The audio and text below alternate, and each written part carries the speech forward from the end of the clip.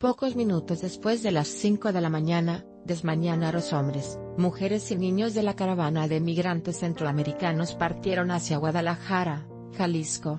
Guión, Notimex, Irapuato, Guanajuato, Notimex.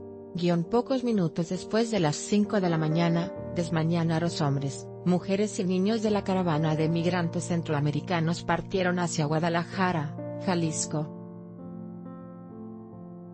El contingente caminará unos 4 kilómetros hacia un entronque para buscar jalón por la carretera hacia La Piedad para descender en la caseta La Joya, en la carretera Zapotlanejo.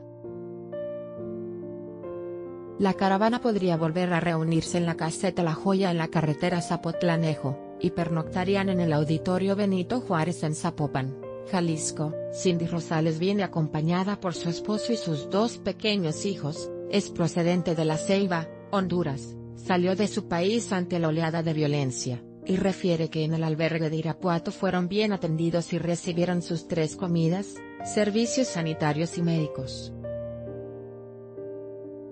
Es difícil venir con niños, pero confiamos en Dios, dijo.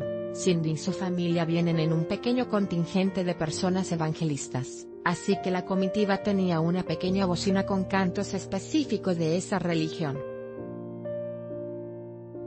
Irapuato, Guanajuato, al albergue en Guadalajara, Jalisco, son poco más de 200 kilómetros, en transporte vehicular son más de dos horas y media de traslados.